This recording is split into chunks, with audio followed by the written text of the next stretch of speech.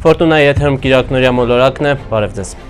Եվ այսպես Ֆորտունա հերոստանգերության մոլորակ լրատվականի շրջանակներում շարունակվում է Վանաձորը սրտում հերոստանախագիծը, այսօր Վանաձորը սրտում Արմեն Ներսիսյան։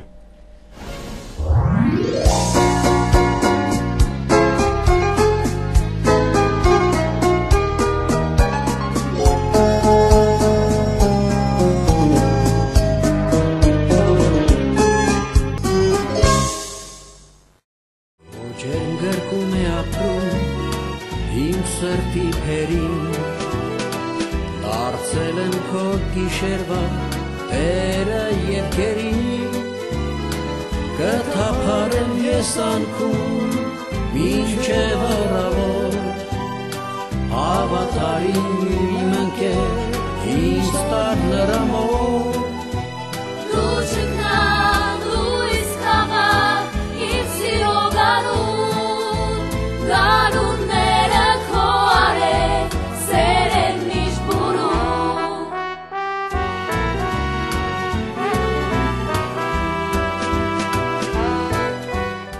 Վանաձորի այցեքարտը հենց իր բնակիչներն է։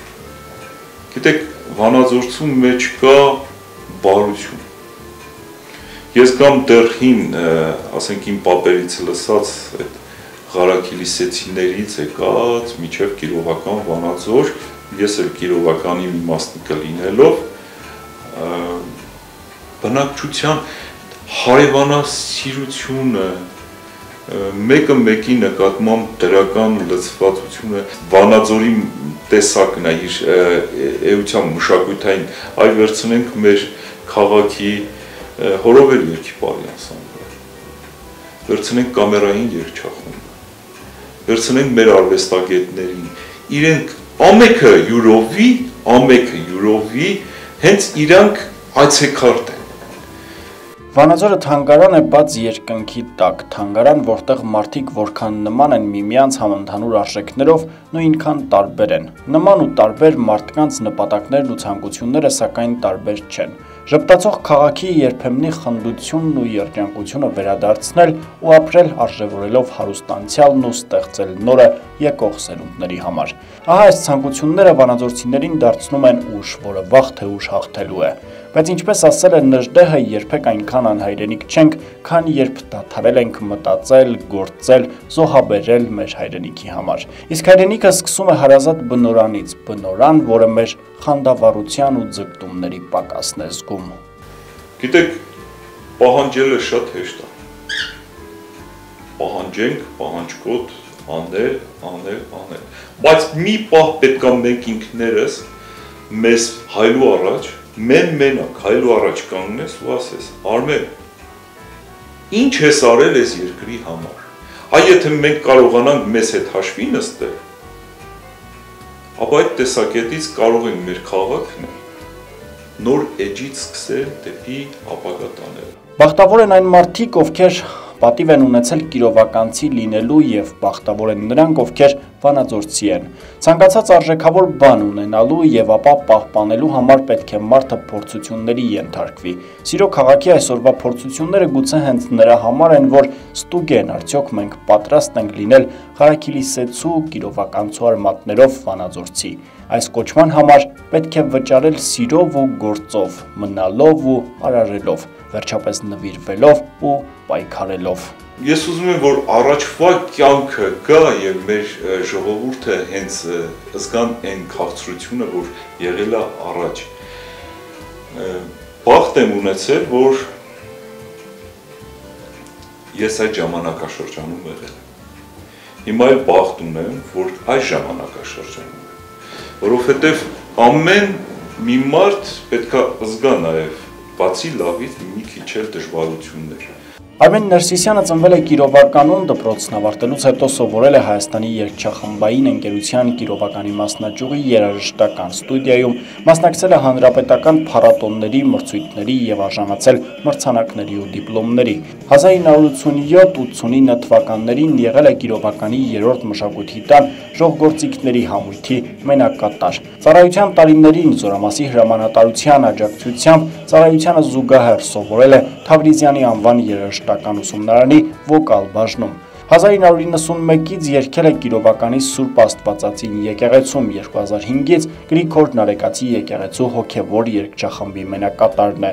1992-ից աշխատում է Վանաձորի կամերային երգչախմբում, հիմնադիր արտիստներից մեկն է։ 92 թվականին ընդգրկվել է Նժդեհ կամավորական ջոկատի կազմում եւ մասնակցել է ինքնապաշտպանական մարտերին։ Երկրապահ կամավորականների եւ Հայաստանի թատերական գործիչների միության անդամ է հորովել երկի բարի անսամբլում աշխատել է որպես բեմի վարպետ, մեներգիչ, սովորել եւ ավարտել է Երևանի թատրոնի եւ կինոյի պետական ինստիտուտի Վանաձորի մասնաճյուղը եւ ստացել ռեժիսորի որակավորում։ Հովանես Աբելյանի անվան դրամատիկական թատրոնում աշխատել է որպես դերասան։ 2013-ին մշակույթի նախարարության կողմից արժանացել է ոսկե մեդալի։ Նույն թվականին նշանակվել է Վանաձորի Գրիգոր Նարեկացու անվան հորովել ժողովրդական երկի բարի համույթի տնորեն եւ գեղարվեստական ղեկավար։ Արմեն Ներսիսյանը իր կենսագրությունը կերտելու տարիներին լինելով իրարից շատ տարբեր թիմերում, նաև ներկայանալով որպես մենակատար, համոզվել է, ցանկացած հաղթանակ նվաճվում է, երբ սեփական եսը ծուլվում է թիմին։ Եսի դեպքում ոչ մի բան չի լինի։ Մենքի դեպքում, որ բոլորս ենք կատարել, այդ դեպքում արդեն մենք ունենանք մեծ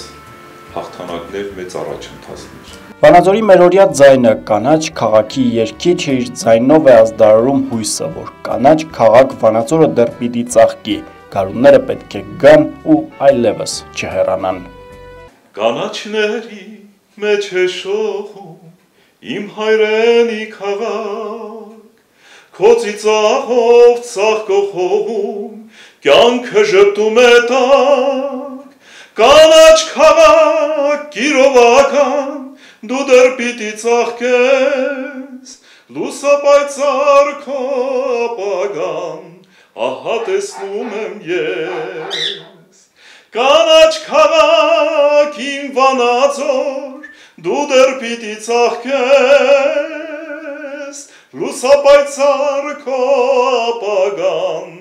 ահա տեսնում եմ ես, ահա տեսնում եմ ես։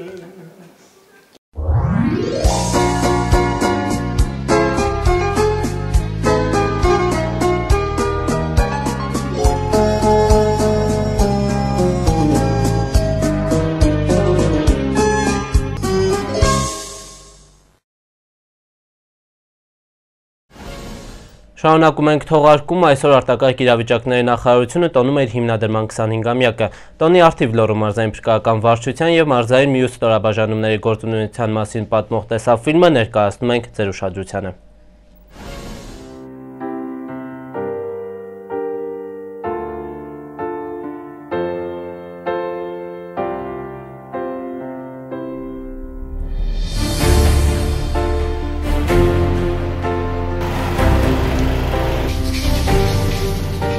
Բնական, տեխնածին վթարների, աղետների եւ նորաստեղծ հանրապետության արժեվ ծառացած այլ մարտահրավերների դիմագրավելու նպատակով շուրջ 25 տարի առաջ հիմնվեց Հայաստանի Հանրապետության արտակարգ իրավիճակների նախարարությունը, որն իստորաբաժանումներով եւ հենակետերով ստանձնեց խաղաղ եւ պատերազմական ժամանակներում արտակարգ պատահարների դեպքում փրկարարական աշխատանքների իրականացման, բնակչության պաշտպանության, նրանց գույքի եւ ունեցվածքի փրկության, ինչպես նաեւ աղետների վթարների դեպքում վերականգնողական աշխատանքների կատարման դժվարին առաքելությունը։ Նախարարությունն իր արջև դրված խնդիրը անցնող 25 տարիների ընթացքում լավագույնս իրականացրել է մարզային վարչությունների եւ կից ստորաբաժանումների անձնվեր ու հայրենանվեր ծառայության միջոցով։ Լոռու մարզում ներկայումս գործունեություն են ծավալում Լոռու մարզային փրկարարական վարչությունը, ճգնաժամային կառավարման կենտրոնը, հրշեջ փրկարարական ծառայությունը, մարզային հրդեհային եւ տեխնիկական անվտանգության դաշտությունը, տեխնիկական անվտանգության փորձաքննության բաժինը, Լոռու հիդրոթերապևտաբանական կայանը, ռադիոլոկացիոն հակակարգտային կայանը, սեյսմիկ պաշտպանության ազգային տնտեսության համալիր կենտրոնը։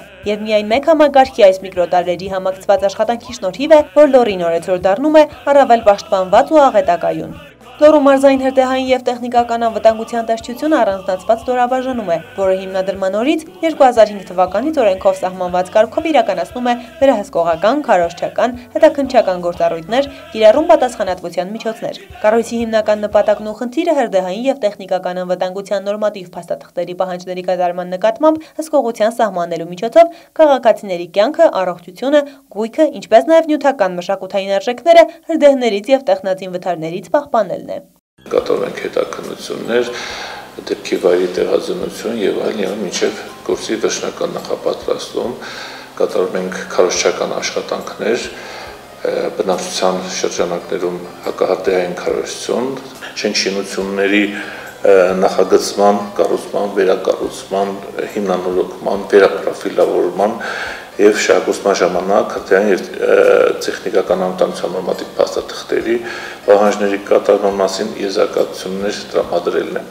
Ունենք լավ կոլեկտիվ, կոլեկտիվը առողջ է, բանիմաց է, գրագետ է, կատարում իր արժեք դրած բոլոր խնդիրները։ Ունենք բավականին լուրջ առաջընթացներ, տեսականորեն մենք կատարել ենք եւ գործնականորեն կատարել ենք մեր դրված բոլոր առաջադրանքներն ու խնդիրները առավելապես մեծ աշխատանքներ տալ քարոշչական աշխատանքներ բնավ ժողովրդի շրջանում ինֆորմատիվ տեղեկացնելու եւ նաեւ նրանք կյանքում կիրառելու մեջ Լոռու մարզային տեխնիկական անվտանգության փորձաքննության բաժինն իր հերթին իրականացնում է փորձաքննություն արտադրական վտանգավոր օբյեկտներում։ Նպատակը տեխնացին վթարների կանխարգելումը, հետևանքների վնասազերծումն ու շրջակա միջավայրի վրա ազդեցության նվազեցումն է։ Նախկին արդյունաբերական հսկա Վանաձորում ու մարզի մյուս համայնքներում, հատկապես հանքարդյունաբերության ոլորտում անելիքները դեռևս շատ են, եւ նույն ժամանակ չեն կարող չարձանագրել զգալի ձեռքբերումները։ 2-3 տարվա մեջ կարողացել ենք այնպես անել, որ արդեն 3 տարին է ոչ մի տեխնացին վթարի հետևանքով մահվան ելք չենք ունեցել, ինձ վկայում է մեր բարձր որակային աշխատանքը եւ փորձակնության բարձր որակը։ Եղել են մի շարք օբյեկտներ, մոտավորապես Լոռու մարզում գրանցված օբյեկտների, արտադրական վտանգավոր օբյեկտների 40%-ից ավելը փորձակնություն չէին ասնում եւ այժմ մեր աշխատանքի շնորհիվ այդ թիվը նվազել է մոտավորապես ասել է 20-25%-ի կոնկրետ ոլորտներով ասենք վերելակները նախկինում փորձակնվում էին եւ փորձակնություն էին անցնում 50%-ը կամ 45%-ը այժմ 85-95% շահագործող վերելակները գրանցված են եւ անցնում են համապատասխան փորձակնություն նույն անվարչի սարքավորումների ոլորտում, գազալցակայանների, բենզալցակայանների, հանքարդյունաբերության ոլորտում բացախնդրի բաց մասը մնում է հանքարդյունաբերությանը, քարի վերամշակման արտադրամասերին, բայց ընդհանուր առմամբ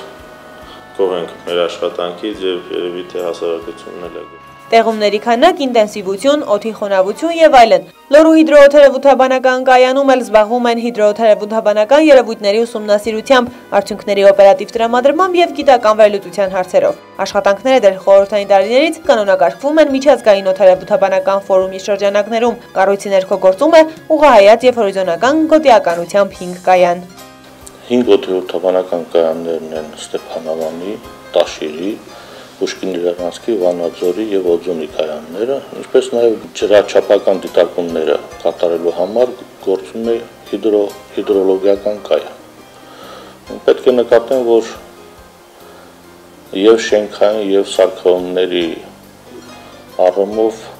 մեր մարզում երևի թե Հայաստանում առաջիններից մեկն է, եթե ոչ առաջինը, հագեցվածությամբ։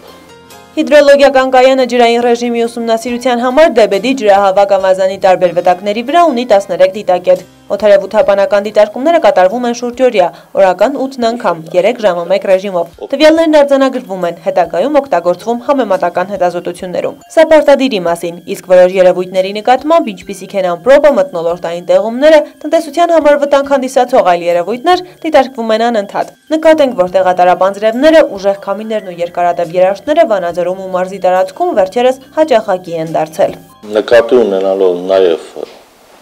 կլիմայի գլոբալ փոփոխությունները շատ ավելի մեծ պատասխանատվություն է, որ վերջին տասնամյակներում ավելի մեծ փոփոխություններ են եւ ավելի էքստրեմալ երևույթներ են նկատվում։ Դրա համար շատ ավելի մանրակրկիտ է կատարվում դիտարկումները, իսկ հիմնականում դա արվում է պարզապես ըստ կանոնադրության, ըստ ընդունված կարգի։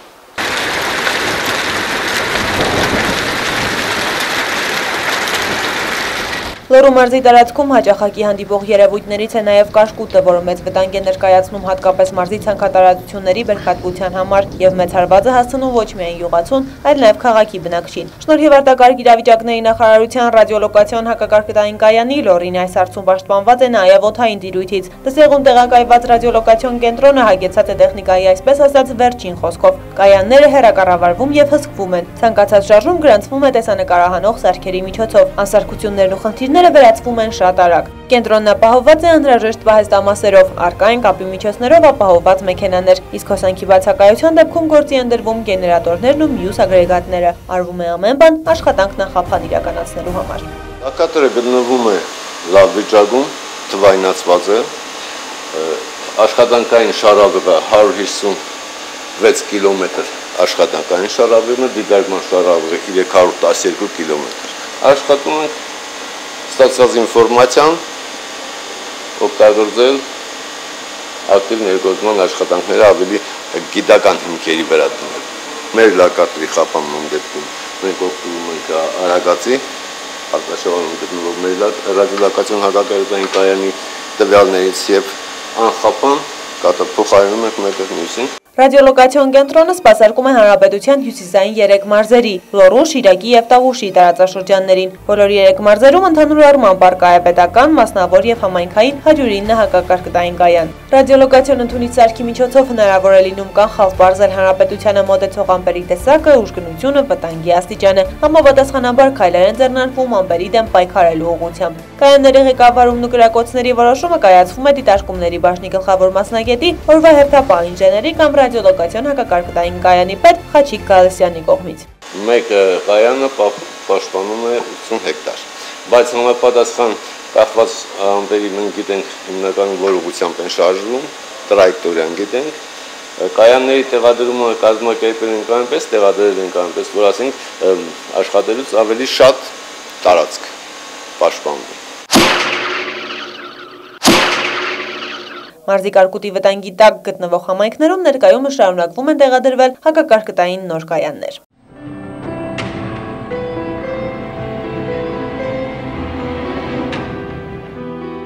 88-ի երկրաշարժը լորեցիների սովորեցրեց դիմակայել երկրագեղևի ծնցումներին, ուստի 90-ականների սկզբին Լոռու մարզկենտրոն Վանաձորում տեղակայված արտակարգ իրավիճակների նախարարության սեյսմիկ պաշտպանության ազգային ծառայության համալիր կենտրոնում վարքյան առ վարքյան հետևում են տարածաշրջանում հողային շերտի նույնիսկ ամենաաննշան տատանումներին։ Կենտրոնն ունի 4 դիտակետ Ստեփանավան, Չկալով, Արջուտ եւ Լերմոնտովո համայնքներում։ Շուրջօրյա աշխատանքը կազմակերպվում է ակումուլյատորային ռադիոկապի բազայի հիման վրա։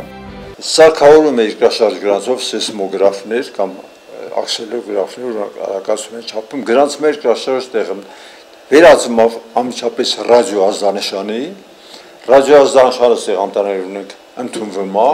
այս համակարգը այդ ամենը համակցում հաշվարկում է ունենք ծրագիր որոնք բացվում էկրան վրա նկարդ են մենք արդեն մնում է մեր սեյսմաբանների աշխատանքը նստում են շատ արագ մշակում են դա տևում է մեր նորմերով մինչև 5 րոպե մենք պարտավորենք մշակել այդ երկրաշարժը։ Երկրաշարժը մշակելուց հետո աղարթում է տրվում կենտրոն, ապա փոխանմաձայնեցվում եւ տեղեկատվություն տրամադրվում ԱԻՆ-ին, հանրահրաշտության դեպքում ազգային անվտանգության ծառայությանը, մարզպետարանին եւ հասարակությանը։ Մենք բավականաչափ շատ երկրաշարժ են գրանցում ավելի շատ, քան են նորագույն սարքավորումները աշխատողները։ Ինչը նորիվ մեր աշխատակիցների բարեխիղճ վերաբերում ենք որպես լորեսիներ։ Ծառայության մյուս գործառույթը շենքերի սեյսմակայունության ուսումնասիրությունն է, որտեղ հետաքննվում է շենքերի տեխնիկական վիճակը, մեթոդաբանություն մշակվում սեյսմակայուն շինարարության ուղղությամբ։ Եթե նույնիսկ մենք հասնենք հաջողության գիտությունը աշխարհում հասնենք աշխարհի որ կարողանանք կանխագուշակել, դա ես էլ լուծում չեմ համարում։ Այս ծառայության ես իրոք համարում եմ, հիմնական նպատակը պետք է լինի սեյսմական շինարարության ապահովումը։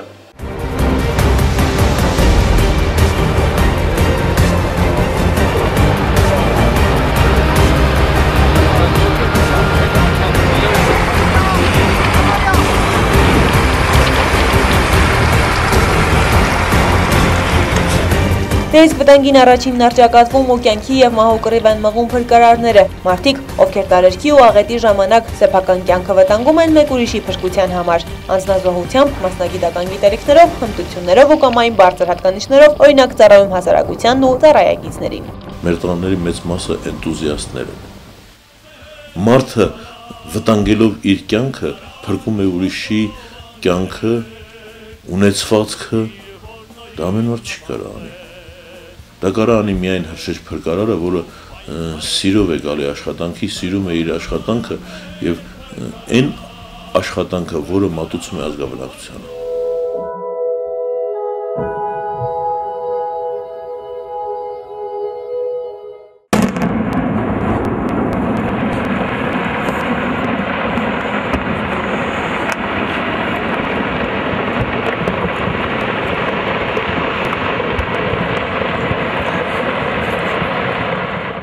Քարաթափումներ, ծողանքներ, անտառածածկ տարածքների եւ բնակելի շենքշինությունների հրդեհներ, գետերի վարարումներ, հեղեղներ, փլուզումներ։ Ինչ տարերքի ասես չի հանդիպել լորացի փրկարարը, սակայն ինչը հասարակ մահկանացուներից մեջ ահուս արսապ կառաջացներ, փրկարարների մեջ տոկունություն, երանգ ու սիրելի աշխատանքի նկատմամբ նվիրում է ավելացրել։ Օթում, ջրում ու ցամաքում մեր տղաները դարձել են փրկության լույս բոլոր իրենց կարիքն ունեցողների համար։ Քաղաքացին օգնության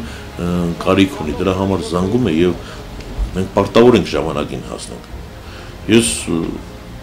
գովեստով եմ նշում, որ իմ պաշտոնավարման ընթացքում Լոռու մարզում չի եղել մի նման դեպք, որ կամ ժամանակին չհասնեն կամ վթարի ենթարկվեցի, ոչ իմ մեղքով էր վթարը, եւ 2010 թվականից մինչ այսօր տեղաշարժում եմ սայլակով եւ վթարի ժամանակ դեպքի վայր դեպքի վայրում փրկարար տղաներն են ինձ մեքենայի մեջից հանել եւ հանձնել շտապօգնության աշխատակիցներին 4 տարի անց արդեն ոնց որ ես էլ ընդգրկվեցի իրենց շարքերում Փրկարարները մշտապես պարապմունքների մեջ են։ Տարեկան պլանի գործողությունների համաձայն իրականացվում են համալիր, շտաբային, հրամանատարաշտաբային ուսումնավարժություններ, հատուկ տակտիկական, ցուցադրական ուսումնավարժություններ, օբյեկտային վարժանքներ, դասախոսություններ, սեմինարներ եւ այլն։ Նշենք, որ ուսումնավարժանքներում ակտիվորեն ներգրավում են ուսումնական հաստատությունները, մարզային ու համայնքային իշխանությունները, հթարային ծառայությունները։ Հաջող համագործակցության օրինակ է Շանթ 2015 հրամանատարաշտաբային ուսումնավարժությունը։ Նախկինում մենք ունեինք այդ փորձը, որովհետև մենք ուսումնավարությունների միջոցով բավականին առաջ էինք գնացել։ Գիտելիքներ էինք ձեռք բերել, փորձ էինք ձեռք բերել։ Դրա համար շանտ 2015-ը մեզ մոտ լավ ստացվեց եւ բարձր գնահատականի արժանացավ։ Որ ասենք, որ պատահական ստացվեց, դա պատահականություն չէր։ Դա տարիների քրտնաջան աշխատանքն էր, որը տվեց իր արդյունքները։ Արտակարգ իրավիճակների նախարարության մյուս օղակների հետ համագործակցության, ինչպես նաև միջազգային ծրագրերի մասնակցության շնորհիվ Լորեցի փրկարարները շարունակում են զարգացնել իրենց գիտելիքներն ու կարողությունները։ Շվեյցարիայի զարգացման եւ համագործակցության գործակալության Հայաստանի Հանրապետությունում հզոր եւ ապակենտրոնացված փրկարարական համակարգի համար տարածաշրջանային հարագարձագանքման թիմերի ստեղծում համատեղ ծրագրի շրջանակներում միջազգային կարգի վերապատրաստում անցան եւ արագ արձագանքման թիմում ընդգրկվեցին մարզի լավագույն փրկարարները։ Վարչությունը համալրվեց ժամանակի պահանջներին համապատասխան համապատասխանող գործիքներով եւ գույքով։ Դրանց ճիշտ կիրառության վերաբերյալ ժամանած մասնագետները տրամադրեցին խորհրդատվություն։ Այդ գույքը միջոցները այս մեր տարած այս տարածաշրջանի համար նոր է, այսինքն շատ հարցեր կարող են հենց տեղական մակարդակում առանց կենտրոնի օգնության իրանք տեղում լուծեն եւ իրականացնեն։ Արագ արձագանքման թիմը ստեղծվել է փրկարարների բազայի վրա, Փրկարարները պատրաստվում են, որպեսզի Աստված միարասցի աղետների ժամանակ այլ տարածքներում կարողանան բոլորը իրենց գույքով, իրենց սարքավորումներով գնան հասնեն օգնության։ Բնակչությանը առավել մոտ գտնվելու եւ արագաջակցություն ցուցաբերելու հերթական զգալի քայլը ճգնաժամային կառավարման կենտրոնի ստեղծումներ։ Շուրջ 1 տարի է Լոռու մարզային ֆորտունա հերոստանգերության մոլորակ լրատվական հաղորդման շրջանակներում հերարցակվում է 911-ի օրագիրը, որի միջոցով հասարակությունը տեղեկանում է ինչպես օրվա ընթացքում մարզում գրանցված արտակարգ դեպքերին, այնպես էլ ստանում խորհրդատվություն արտակարգ դեպքերից խուսափելու կամ ճիշտ վարվելականոնների մասին։ Այսպիսով զգալի է հասարակության շրջանում վստահության մթնոլորտի կայունացումը։ Իրենք շատ լավ են աշխատում, լրատվության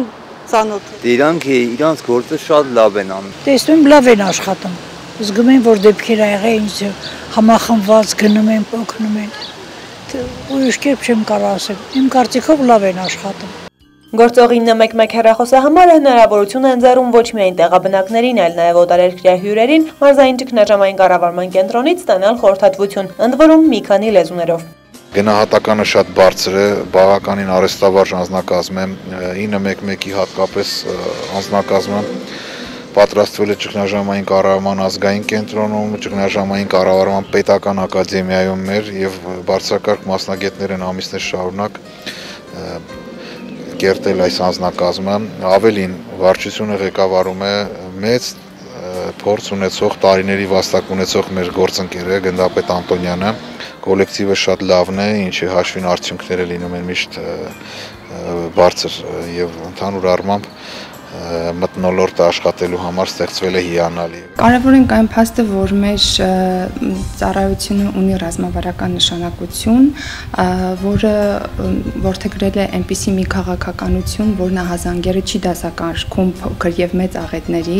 քանի որ յուրաքանչյուր ահազանգողի, յուրաքանչյուր քաղաքացու համար իր խնդիրն առավել կարևոր է եւ ուշադրության արժանի։ Լոռու մարզային փրկարարական վարչությունը Լոռիում ունի 300-ից ավելի աշխատակից ճգնաժամային կառավարման կենտրոնում համապատասխան պայմաններ են ստեղծված նաև ֆիզիկական սահմանափակ կարողություններով անձանց համար։ Լինում են դեպքեր, երբ փորձում ես գտնել աշխատանք, շեշտում եմ, որ ունեք հաշմանդամություն, սակայն արտակարգ իրավիճակների նախարարությունը հիմքը դրեց գիտելիքների եւ հմտությունների վրա։ 911 ամենակարող ծառայությունը խոչընդոտներ չի նկատում։ Ուզում եմ շնորհակալության եւ երախտիկի խոսքերս ասել արտակարգ իրավիճակների նախարար պարոն Արմեն Երիցյանին եւ այն մարդկանց, ովքեր որ ստեղծեցին աշխատատեղեր ֆիզիկական սահմանափակ հնարավորություններով անձանց համար շատ հպարտ եմ որ կատարում եմ նման աշխատանքը այնում աշխատելը ոչ միայն աշխատանք է, այլև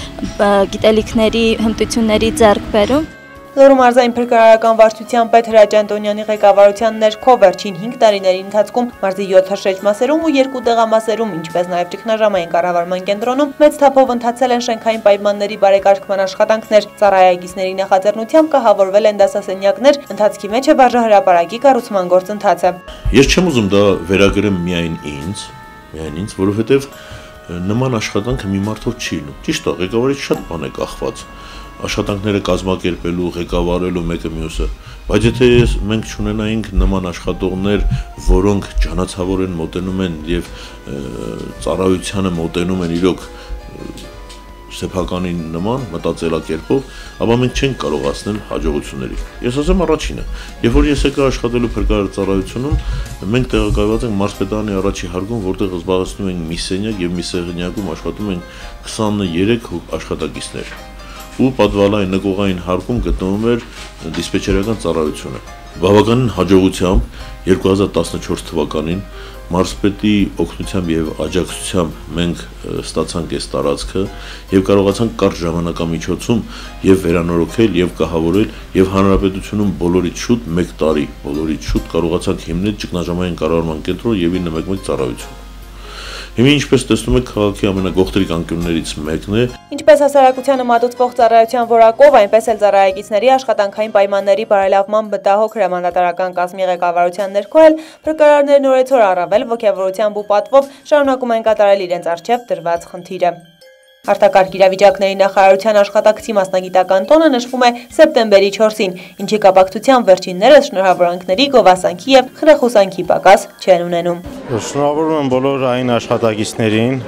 ցանկանում բեղմնավոր աշխատանք։ Լավ բազա, անփորձանք ծառայություն արտակարգ իրավիճակներին։ Նորանոր հաջողություններ բոլորին, բոլոր աշխատակիցներին։ Ցանկացած աղետի դեպքում չկորցնեն այն մեծ ուժն ու ոգին, որ ի վերուս տրված է յուրաքանչյուր փրկարարի։ Անփորձանք ծառայություն եւ ամենակարևորը մեր հասարակությանը աղետակայուն երգիր, որպեսի ապրեն անհոգ։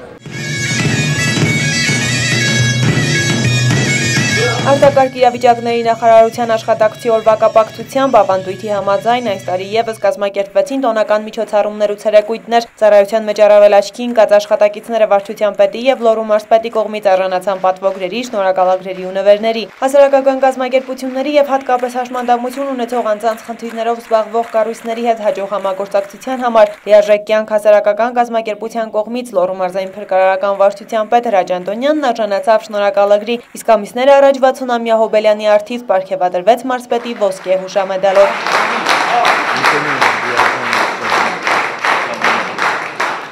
Տոնը շարունակվեց առած սեղանների շուրջ, որտեղ բաժակ բարձրացրին խաղաղ ու անփորձանք ծառայության համար։ Տոնական օրվա ավարտին փրկարարները հուշերն ամրագրեցին լուսանկարով։ փրկարար,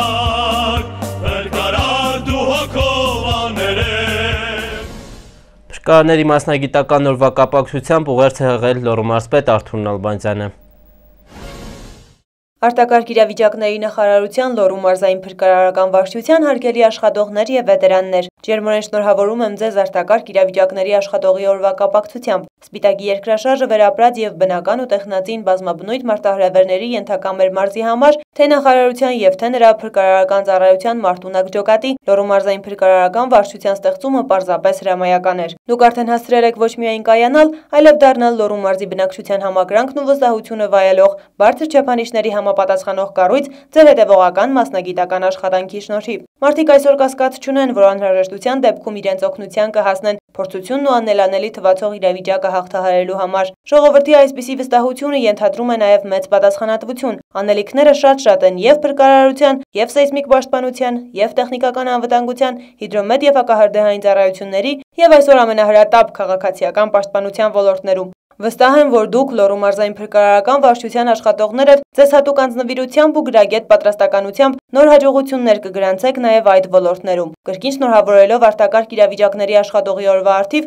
մաղթում եմ, որ նույն մասնագիտական բարձր պատրաստվածությամբ, մարդկային որակներով եւ արժանապատվությամբ շարունակեք իրականացնել բնակչության պաշտպանության ձեր առաքելությունը։ Մաղթում եմ ամփորձանք աշխատանք, ձեր ընտանիքներին բարօրություն եւ երջանկություն։ Լոռու մարզպետ Արտուր Նալբանդյան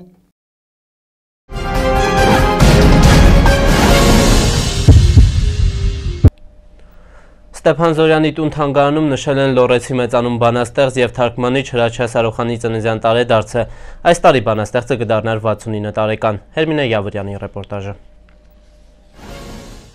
Հրաչյա Սարուխանի գրչակիցները, ընկերները, ընթերցողներն ու հարազատներն այս տարի մեծ գրողի ծննդյան հոբելյանը նշում են առանց իրեն։ Բոլորի շուրթերին Սարուխանի բանաստեղծություններն են, նրա հետ անցկացրած օրերի հիշողություններն ու գովասանքը նրա անձի մասին։ Ստեփան Զորյանի տուն թանգարանի Բաքում ու Խնձորի այգում, այնտեղ ուր կենթանության օրոք շատ ժամանակ էր անցկացնում Սարուխանը, այսօր լսվում է նրա ձայնը։ Քչախոս, բայց միևնույն ժամանակ ամեն մի հույզ ու մտորում թղթին պատմող Սարուխանը կենթանի է, նա իր թողած գրական ժառանգության շնորհիվ դեռ երկար կապրի սերունդների հուշերում։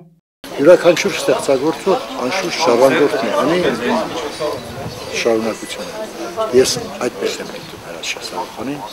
եւ ապարտ եմ, որ ոչ միայն այն ավակ կրճեղբայրն էր, այլև մանկության ընկեր, մինչև վերջի պահի Կան մեր հրաշալի հարցեր երևույթներից մեկն է Հրաչ Սարոխյանը պոեզիայի որնիր որդության օրոք մեր օրոք ունեցավ բազմահազար ընթերցողները իր պոեզիան ստիլվեց, ընդունվեց, բայց այնպես չի, որ ամբողջ խորքով սպարվեց ինձ համար միշտ եղել է ինչ որ բարձրակետում, որից ես ներքևից միշտ որ նայում էի, ասում էի դեռելի պիտի բարձրանա, որտեղ բոլոր բարձունքները արդեն նա նվաճել են։ Պատկերացնեք մեզ հետ չլիներ ինքը, ինչքան բան կպակասեր մեզնից։ Երեք չի առաջ երը տկինանայիդն ասում միակ մարդն էր, որ ուզեց տեսնի, ուզեց խոսի հետ։ Երկու ժամ միասին մեն մենակ նստած էինք տանը մեջ, ինքը իհարկե վիճակում էր, որ ես չէի սպասում, որ դա ինչ որտեղ արդեն կորստի, արդեն կորցնելու խնդիր է, բավականին շատ ինքը խոսեց, խոսեց, իսկ վերջում ասեց, այս հիվանդության դերը, իսկան կխոսեր այդենաճ։ Բարուտարի կռիվ տվող, խոսուն հնչեղ հանգեր ստեղծող, Տերյանի պես նոր լեզու բերող ու Չարենցի պես կրկքոտ եւ հանդուգն, ճամփորդ, որ տիեզերքում իր տեղն է որոնում, անվերջ զրուցելով Արարչի հետ։ Ահա թե ինչպես են մտերիմները բնորոշում Սարուխանին, նրա խորությունը բացահայտելը հեշտ գործ չէ, տարիներ են պետք, դարեր։ Աշնան համարե բարեկարգնա շար, շահոտ, պսակն է կարծես Իսուսի, և շունչն ես զգում, և սերն ասահման, և կեզ են պարվում երկու սուրբ ապեր, և կամենում ես թոմասի նման, անհավատորեն, օթը շոշապել, և նինոթի մեջ անշոշապելի, հրաշքի կարոտ հավքերինի տես, անտես հպումից երկու ափերի ծառերն են հարնում գազարոսի պես, և սույր անձրև է հաշվում նակրսին, և արարում է չուր է երկրատի Հրաչյա Սարուխան բանաստեղծ թարգմանիչը հեղինակել է եզրագծեր, հրաշքորեր, վկայություններ, այլ ժամանակներ, Աստծո առավոտ ժողովածուները։ Հայաստանի գրողների միության անդամ է 1978 թվականից։ Արժանացել է տարվա լավագույն առաջին գիրք Հայաստանի գրողների միության հայ պոեզիայի բարձրագույն Ավետիք Իսահակյանի անվան մրցանակների։ Պարգևատրվել է Մովսես Խորենացի գրական վաստակի համար մեդալներով, Հայաստանի Հանրապետության մշակույթի նախարարության ոսկե մեդալով, Հայաստանի Հանրապետության վարչապետի շնորհակալագրով։ Հայաստանի գրողների միության վարչության անդամ է, արժանացել է Լորվա ասպետ Մարգահովտի պատվավոր քաղաքացի կոչումներին։ 2011 թվականից Հայաստանի Հանրապետության մշակույթի վաստակավոր գործիչ էր։ Սարուխանի մասին խոսվել է տարբեր բեմերից, նրանց հածողուն ու գրական ժառանգության անդրադարձ է կատարվել Ֆորտունա լոռու մարզային հեռուստաընկերության լորեցի արվեստագետներ, մոլորակ լրատվական եւ վանաձորյան օրեր հաղորդումների շրջանակներում։ Եվս մեկ անգամ թախիծով ու ափսոսանքով հիշելով Սարուխանի անցած ուղին միջոցառման ներկանները ուղևորվեցին գրողի Շիրիմի մոտ եվս մեկ անգամ հարկելու նրա հիշատակը։ Հերմինե Յավրյան, Վալոդյա Ավոյան, Մոլորակ։ Այս շաբաթ նշվեց գիտելիքի օրը, սեպտեմբերի 1-ին Լոռու մարզում առաջին անգամ ոտք դրեցին հազարավոր երեխաներ։ Նոր ուսումնական տարվա մեկնարկը առաջարկվող տեսանյութերում։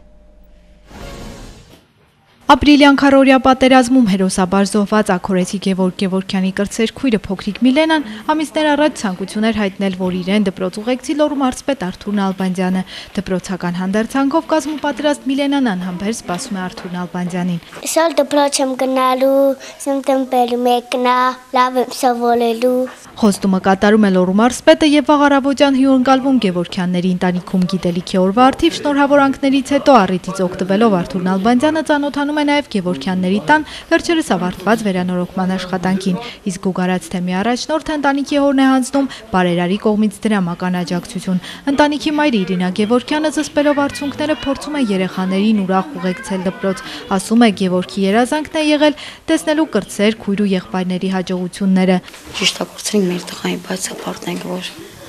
հանհայրենիք է զոհվելու պաշտպանել հայրենիք։ Անեն միշտ եղբայրն ասել, լավ սովորեք, գազանցիկ ավարտեք, որ գնաք սովորեք։ Լոռու մարզպետի ուղեկցությամբ փոքրիկ Միլենան առաջին անգամ ոտք է դնում դպրոցի բակ, որտեղ էլ տոնական դրամատրությամբ նրանց են սպասում դպրոցի աշակերտները, ուսուցիչները, ծնողները, նաև Միլենայի համադասարանցիները, ովքեր եւս հուզված են։ Սեպտեմբերի 1-ի ակորու այցը ինքնանպատակ չէր, այն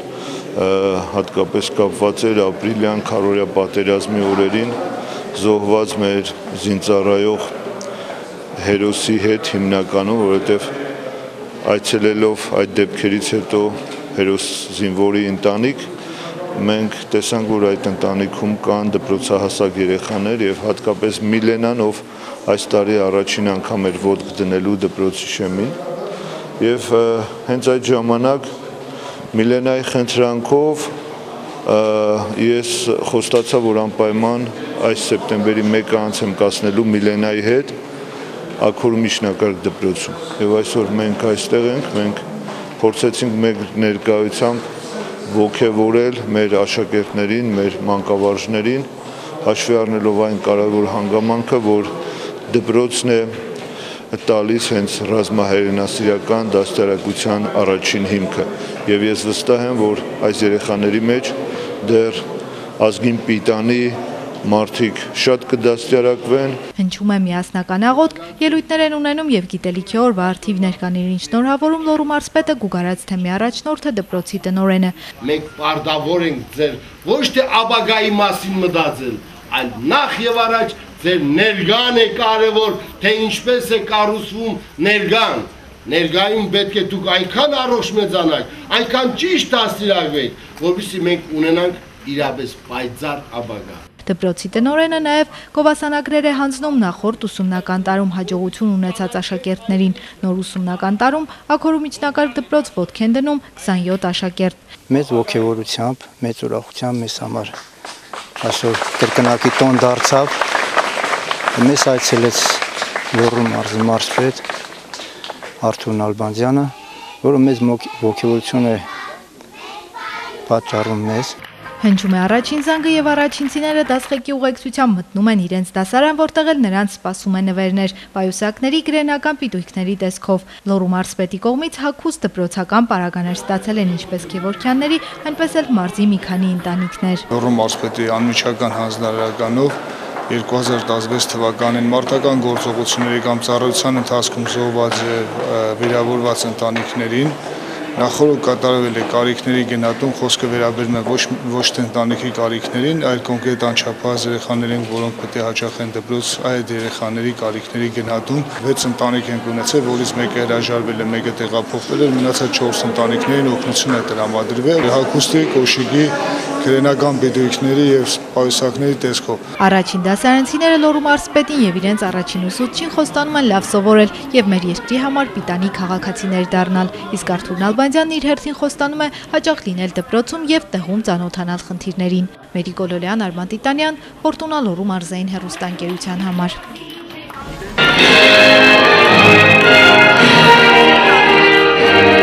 Նոր ուսումնական տարում Լոռու մարզում դպրոց կհաճախի 3570 առաջին դասարանցի, որից 1432-ը մարզկենտրոն Վանաձորում։ Ընդհանուր առմամբ մարզային ենթակայության 150 դպրոցներում կսովորի մոտ 26860 աշակերտ։ Մարզկենտրոն Վանաձորի բոլոր դպրոցներում այսօր վաղ առավոտից թևածում էր բարձր տրամադրությունը։ Առաջին դասարան հաճախող երեխաները հյուրերի, բարեմաղթանքների, անակնկալների պակաս չունեին։ Վանաձորի 5-րդ դպրոցի նոր ուսումնական շրջանական տարվա առաջին հյուրը Վանաձորի նոտարական գրասենյակի նոտար Մամիկոն Ասլանյանն էր։ Վերջինս շնորհավորելով ներկաներին գիտելիքի օրվա կապակցությամբ փոքրինչ առանձնացրեց հայրենիքի ապագա պաշտպաններին։ Այս համատեքստում կարևորելով նաև ռազմահայրենասիրական դաստիարակությունը դպրոցներում։ Թույլ տվեք առանձնահատուկ ողջունել այն տղաներին, ովքեր դպրոցն ավարտելուց հետո համալրելու են հայոց բանակի շարքերը։ Բոլորիդ բարի երթ եմ ցանկանում եւ գիտելիքի անհուն աշխարհում ձեր տեղը գտնելու ունակություն ու մեծ ցանկություն։ Դպրոցականները ինչպես պատվավոր հյուրի այնպես էլ իրենց ծնողների համար երկեցին, պարեցին ու արտասանեցին խոստանալով լավ սովորել եւ պիտանի դառնալ հասարակության համար։ Գիտելիքների բոլոր փակ դռները մեզ համար դառնալու է ուղեցույց ամբողջ կյանքում։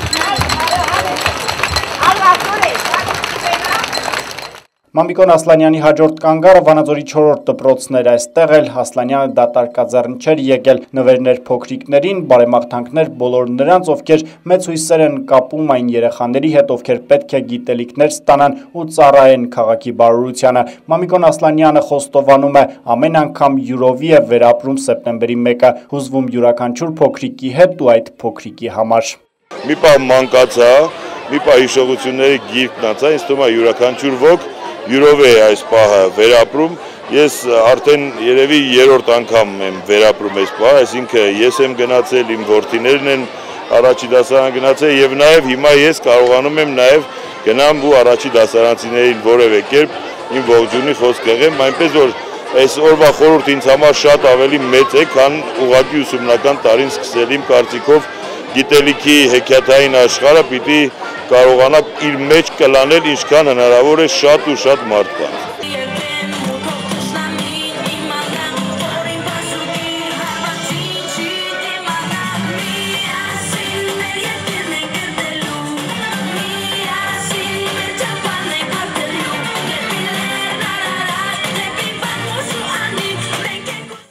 Տեղափոխվում ենք Վանաձորի 22-րդ դպրոց, այստեղ դպրոցականներին հյուրընկալվել էին դպրոցի կառավարման խորհրդի անդամները, խորհրդի նախագահ Մարինե Հովանիսյանի գլխավորությամբ։ Հյուրերը դատարկաձեռն չէին եկել դպրոցականների համար խորհրդանշական նվերներ հանձնելուց զատ, խորհրդի անդամները մանկացան փոքրիկների հետ։ Հյուրերը իրենց հետ ծաղրածուին էին բերել, ով ակտիվ խաղերում ներգրավվեց ոչ միայն առաջին դասարանցիներին, նաև նրանց ծնողներին եւ ինչու ոչ ուսուցիչներին։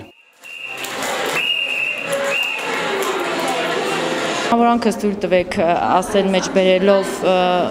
Տաթևի համալսարանի ռեկտոր հայազգի պայծառ ներկայացուցիչ Գրիգոր Տաթևացու խոսքերով. Բուսեք սիրով, ծաղկեք հույսով, կանաչեք հավատով, պտղաբերվեք լավ գործերով։ Շնորհավոր նոր ուսումնական տարի։ Ես ուզում եմ լավ սովորեմ դպրոցում, որ դառնամ բանկի կառավարիչ։ Յալ է սովորելու որ ինչ դառնաս։ Չգիտեմ։ Որ դառնամ մլիցա։ Շնորհավոր եմ ես ընկերներին առաջին զանգի կապակցությամբ։ Լոռու մարզպետարանի գյուղատնտեսության եւ բնապահպանության վարչության պետ Գրիգոր Հակոբյանն ու Վանաձոր համայնքի ավականու անդամ Արմեն Մատինյանն էլ փոքրիկներին հյուրընկալվեցին 15 եւ 23 դպրոցներում։ Վերջիններս երեխաների հետ կիսեցին առաջին անգամ դպրոց մուտք գործելու ուրախությունը։ Փոքրիկները նաեւ նվերներ ստացան 15-րդ դպրոցի շրջանավարտ Նվեր Աբ รา համյանի կողմից։ Երկու դպրոցներում միասին այս տարի առաջին դասարան կհաճախի մոտ 150 երեխա։ Նրանք բարեմաղթանքների եւ անակնկալ ակնկալների պակաս չունեին։ Շնորհավորում եմ բոլոր մեր ժողովրդին, բոլոր ծնողներին եւ ցանկանում եմ, որ մեր հանրապետությունում լինի խաղաղություն, որպեսզի մեր երեխաները խաղաղության մեջ ապրեն եւ լավ ապրեն։ Ես մաղթում եմ մեր իմ հարազատ դպրոցին առաջի դասարանցիներին նոր հաջողություններ նոր կյանքում, իրենց նոր սկսվող կյանքում, ցանկանում նրանց ուսման մեջ հաջողություններ եւ ցանկանում եմ հատուկ շեշտել ուսման դերը շատ կարեւոր է մեր կյանքում։ Չասված որոշ բացառությունները իմ կարծիքով ուսման բնակավարում հաջողությունները կյանքի ցանկացած բնակավարում հետագայում պետք են գալիս։ Վանաձորի 28 եւ 30 դպրոցներում էլ հյուրընկալվեցին Լոռու մարզպետի օգնական Արման Սարգսյանը, Վանաձոր համայնքի ավականու անդամներ Վահագն Դավիթավյանը եւ Կարեն Բարավյանը։ Վերջիններս եւս իրենց անակնկալներով եւ ուշադրությամբ մասնակիցը դարձան գիտելիքի օրվա մեծ տոնին։ Կմաղթեմ որպեսզի ամեն իրենց օր, որը պետք է լինեն դպրոցում կամ այն 10 տարիները, 12 տարիները, որոնք պետք է նրանք սովորեն, յուրաքանչյուր օրը կարողանան օգտագործել, յուրաքանչյուր օրը նպաստ բերի իրենց, յուրաքանչյուր օրը նրանք կարողանան մի նոր բան սովորել, որպեսզի հետագայում այդ ամենը ծառայեցնեն մեզ բոլորիս։ Վերջապես եկող սերունդը վաղը մյուս օրը պետք է գա փոխարինելու մեզ։ Ես նրանց մաղթում եմ ամենալավը։ Մանավանդ այդ փոքրիկներին, որ տեսնում ես հուզմունքով լցվում ես, ես կցանկանամ, որ նրանք նախ անհոգ իրենց մանկությունը անցկացնեն, գոնե դպրոցական տարիներին լինի այնպես, որ նրանց ժամանակը եւ տրամադրվածությունը միայն լինի դպրոցի համար։ Սովորեն լավ, նրանց համար բարենպաստ պայմաններ լինի եւ կա բնականաբար համեմատաբար տարիներ առաջվա այսօր դպրոցները ավելի հարմարավետ են վերանորոգված են մաղթում են որ ապագայում նրանք մեր ապագան են լավ երեխաներ դառնան լավ մարդիկ դառնան կիրթ մարդիկ դառնան քանի որ այս առաջին քայլը լինելու է նրանց կյանքի նրանց հաջողությունների նրանց վերելքի հենց այ առաջին քայլը եւ աստված դա որ մեր այսօրվա առաջին անգամ դպրոց ոգդրած երեխաները իրենց կյանքում հասնեն մեծ բարձունքների։